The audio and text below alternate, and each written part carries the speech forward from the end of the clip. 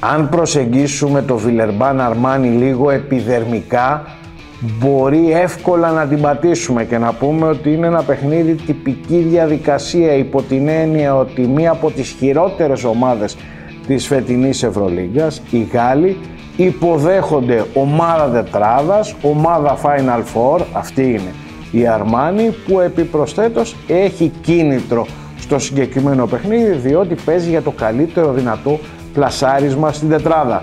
Τσεκάρεις λίγο και τον έλεγχο της Βλερμπάν το τελευταίο δίμηνο που λέει ότι αν δεν είχε κερδίσει της Ζαλγκύρης ουσιαστικά θα ήταν στο απόλυτο 0. Έχει δύο νίκες στα τελευταία 12 παιχνίδια και ενισχύει σε αυτό το συλλογισμό.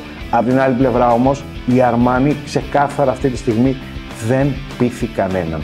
Δεν είναι μόνο η ήττα από τη Σάσαρη πριν από λίγες μέρες. Με βαρύ σκορ δέχτηκε 92 πόντους. Δεν είναι η ήττα από τη Μονακό στην έδρα της που έχει προηγηθεί. Είναι συνολικά η εικόνα της το τελευταίο διάστημα.